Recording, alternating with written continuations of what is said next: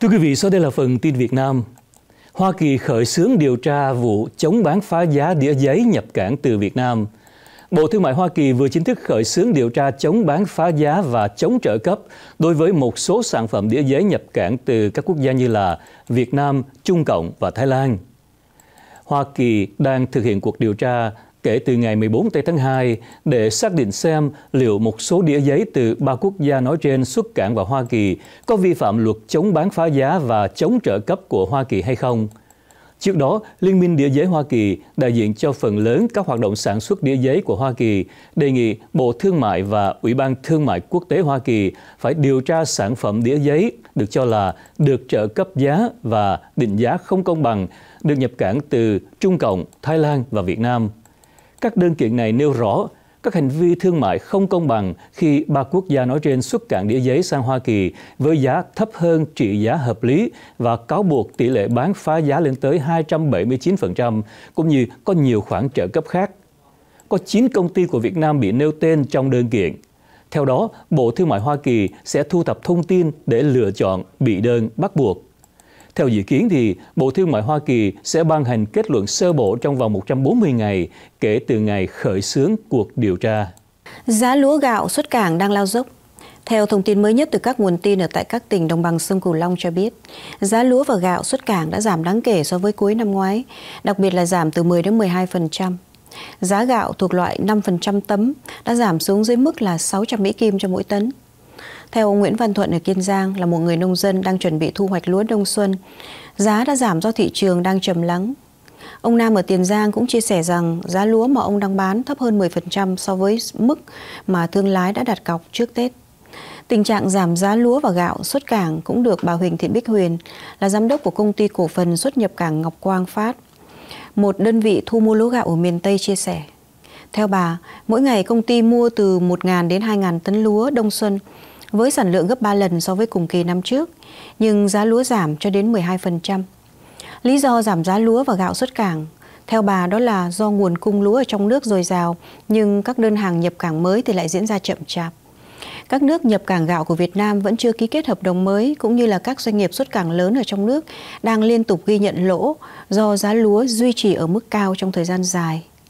Mặc dù vậy, Phó Tổng Giám đốc của công ty cổ phần Mây cho rằng việc giảm giá lúa và gạo xuất cảng đang là một quá trình hồi phục đúng với giá trị của thị trường sau thời gian nâng cao. Nữ ký giả Hàng Ni và luật sư Trần Văn Sĩ bị kết án tù trong vụ án bà Nguyễn Phương Hằng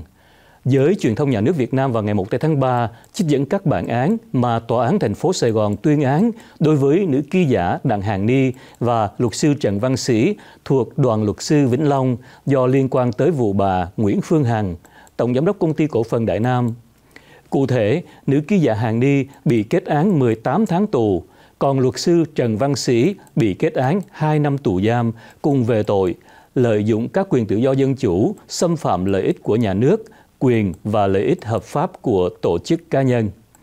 Hội đồng xét xử cho rằng nữ ký giả Hàng Ni và luật sư Trần Văn Sĩ đã lợi dụng quyền tự do dân chủ để thực hiện những buổi livestream trực tuyến trên Internet với những phát ngôn có nội dung bịa đặt, mặc dù biết các thông tin này không đúng sự thật hoặc là chưa được kiểm chứng, xúc phạm nghiêm trọng tới uy tín, danh dự cá nhân, công khai trên mạng Internet những thông tin thuộc bí mật cá nhân và đời sống riêng tư của bà Nguyễn Thị Phương Hằng, cùng với chồng bà ta là ông Huỳnh Y Dũng. Theo cáo trạng thì, nữ ký giả Hàng Ni khai rằng bản thân của bà có những phát ngôn như thế là do bà Nguyễn Phương Hằng ghi hình, phát trực tiếp trên mạng xã hội, có những lời lẽ xúc phạm mình nên nữ ký giả Hàng Ni phải phản biện. Còn luật sư Trần Văn Sĩ khai rằng do bà Nguyễn Phương Hằng nhục mạ các nghệ sĩ nhục mạ giới báo chí, đòi phong sát giới nghệ sĩ, rồi có những lời lẽ trái với thuần phong mỹ tục, yêu cầu các nghệ sĩ phải sao kê tài khoản liên quan tới hoạt động từ thiện vân vân. Cho nên, luật sư Trần Văn Sĩ đã phải góp tiếng nói để làm hạn chế sức ảnh hưởng của bà này. Facebooker Phương Ngô liên tục bị Bộ Công an triệu tập bởi vì đụng vào Vingroup. Mạng xã hội đang lan truyền một ảnh chụp văn bản cho thấy là bà Ngô Thị Oanh Phương, tức là Facebooker Phương Ngô, đã bị Bộ Công an Việt Nam triệu tập lần thứ ba với lý do theo đơn tố cáo của tập đoàn Vingroup. Bà Phương sở hữu trang cá nhân có 74.000 lượt follower, hiện nay trong tình trạng không thể truy cập. Vài năm trước, bà được mạng xã hội biết đến qua phong trào phản đối các trạm giao thông BOT bẩn, ăn chặn tiền của tài xế. Theo giấy triệu tập do Trung tá Nguyễn Hùng Mạnh ký vào, bà Phương phải đến văn phòng phía Nam của Bộ Công an ở quận 1 vào hôm 4 tháng 3 để trả lời một số nội dung liên quan đến mối quan hệ với ông Trần Mai Sơn, theo đơn tố cáo của tập đoàn Vingroup. Trần Mai Sơn tức là Facebooker Sony Trần, 38 tuổi Sài Gòn, được trang mạng biết đến với nhiều bài báo phân tích, báo cáo tài chính, cổ phiếu, tình hình kinh doanh, cũng như là đánh giá phẩm chất thật sự của các dòng xe VinFast. Hầu hết các nội dung này đều không được báo ở Việt Nam đăng tải. Hồi đầu tháng 10 năm ngoái, bà Phương bị công an cửa khẩu Tân Sơn Nhất của Sài Gòn chặn lại sau khi bà đã có thẻ boarding pass ở trên chuyến bay tới Tokyo của Nhật Bản. Biên bản có chữ ký bà Phương và hai giới chức cửa khẩu ghi rằng bà bị tạm hoãn xuất cảnh vì lý do quốc phòng an ninh. Vâng, tiếp theo phần tin Việt Nam, hàng chục cảnh sát tại tỉnh Tiền Giang vây bắt kẻ lạ mặt xông vào một trường mầm non. Vào sáng hôm nay 1 tháng 3, tờ báo Dân trí ở trong nước cho hay công an của tỉnh Tiền Giang đã bắt được một người đàn ông xông vào trường mầm non ở phường 5 thành phố Mỹ Tho uy hiếp trẻ em ở bên trong. May mắn là không có em nào bị ảnh hưởng tới sức khỏe. Theo tin ban đầu cho hay, khi người đàn ông nói trên bất ngờ xông vào ngôi trường này thì bên trong đang có khoảng 100 em. Một số người dân gần đó cho biết như sau, nghi can có mang theo một vật giống như là dao. Nhận được tin báo, hàng chục cảnh sát đã bao vây xung quanh ngôi trường để tìm kế hoạch giải cứu. Đoạn đường đoàn thị nghiệp nơi xảy ra vụ việc đã được phong tỏa. Đến chiều hôm nay, 1 tháng 3, chính quyền tỉnh Tiền Giang tổ chức họp báo cho biết như sau. Người đàn ông khai nhận có tên là Nguyễn Bá Quân, 37 tuổi, là cư dân của tỉnh Sóc Trăng. Người này làm nghề tự do tại thành phố Sài Gòn và có sử dụng ma túy tổng hợp nhưng không thường xuyên. Trước đây, nghi phạm từng có vợ tại tỉnh Sóc Trăng nhưng đã không còn chung sống với nhau. Theo lời khai ban đầu, vào sáng hôm nay do bị ảo giác là cha, mẹ cùng với vợ con bị giết chết, cho nên người này dẫn theo đứa con trai 5 tuổi đến trường mầm non nói trên để ờ, đưa con vào trường. Sau đó, nghi phạm đã dẫn theo con trai và cầm dao vào bên trong để hăm dọa, cướp điện thoại di động của các cô giáo, rồi đe dọa các cháu nhỏ trong trạng thái kích động, la hét và mất kiểm soát. Ngày hôm nay, Công an của Hà Nội cho biết là công an của phường Hàng Bài vừa tìm kiếm và trao trả số tiền hơn 48.000 Mỹ Kim đã bị bỏ nhầm vào trong thùng rác cho công dân. Trước đó vào ngày 28 tháng 2, công an của phường Hàng Bài đã nhận được tin báo của một người đàn ông ở phường Hàng Bài nhờ tìm giúp lại số tiền là 47.400 Mỹ Kim. Theo trình báo, vào cùng ngày gia đình của ông đến ngân hàng để rút số tiền tiết kiệm nói trên về để lo việc. Số tiền này sau đó được để ở trong một chiếc túi cũ. Tuy nhiên do sơ ý khi đi vứt rác, ông đã mang theo túi tiền nói trên bỏ vào thùng rác ở gần nhà. Sau khoảng 15 phút thì ông mới nhớ ra là ông vứt đi cái túi đựng tiền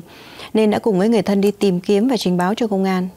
Sau khi nhận được thông báo, công an phường Hàng Bài đã liên lạc với nhân viên thu gom rác cùng với người nhà của ông này tới bãi rác thu gom Nam Sơn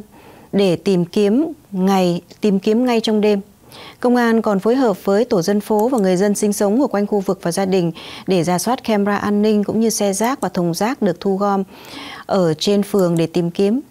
Sau hơn 2 giờ, toàn bộ số tiền được tìm thấy ở trong một thùng rác được nhân viên vệ sinh thu gom về bãi ở trước cửa nhà số 48 Hàng Bài. Đại diện nhân viên của công ty môi trường đô thị sau đó đã mang số tiền nói trên đến trụ sở của công an phường Hàng Bài để trao trả lại cho gia đình của người đàn ông này. Công an phường Hàng Bài lập biên bản giao nhận uh, giữa hai bên và sau đó kiểm đếm và gia đình của người đàn ông đã nhận lại đủ được số tiền bị thất lạc. Hàng loạt các hãng hàng không tên tuổi của Việt Nam đang bị Tổng công ty Hàng không Việt Nam gọi tắt là ACV đưa vào danh sách nợ xấu và vi phạm nghĩa vụ thanh toán. Theo đó, Tổng công ty Hàng không Việt Nam đã thông báo cho Bộ Giao thông Vận tải Việt Nam về một số công tác cần phải thực hiện nhằm thu hồi công nợ của các hãng hàng không trong nước đang vi phạm nghĩa vụ thanh toán. Cụ thể thì Tổng công ty Hàng không Việt Nam đang đưa ra kế hoạch khởi kiện ngừng cung cấp dịch vụ đối với các hãng hàng không vi phạm để xin ý kiến của các cơ quan quản lý có thẩm quyền liên quan tới kế hoạch trả nợ cho Tổng công ty Hàng không Việt Nam hoặc là không thực hiện đúng kế hoạch trả nợ đã cam kết, kết quả kinh doanh không bị lỗ nhưng không trả nợ, có phát sinh công nợ mới trong năm ngoái, rồi có số nợ dư lớn hơn các hãng hàng không khác. Theo báo cáo tài chính của Tổng Công ty Hàng không Việt Nam, tính đến cuối tam cá nguyệt thứ tư của năm ngoái, thì họ có các khoản nợ phải thu rất nhiều từ các hãng hàng không của Việt Nam đang hoạt động ở nhiều phi trường do Tổng Công ty Hàng không Việt Nam quản lý. Các hãng hàng không và các công ty bị Tổng Công ty Hàng không Việt Nam đưa vào danh sách nợ xấu, gồm hầu hết các hãng hàng không tên tuổi trong nước đang hoạt động. Trong buổi thuyết minh báo cáo tài chính thì Tổng công ty Hàng không Việt Nam cho biết như sau. Đến cuối năm ngoái thì tổng công ty này phải thu khoản nợ ngắn hạn từ các hãng hàng không gồm có Vietnam Airlines với hơn 1.831 tỷ đồng Việt Nam, rồi hãng Vietjet Air hơn 2.981 tỷ đồng Việt Nam,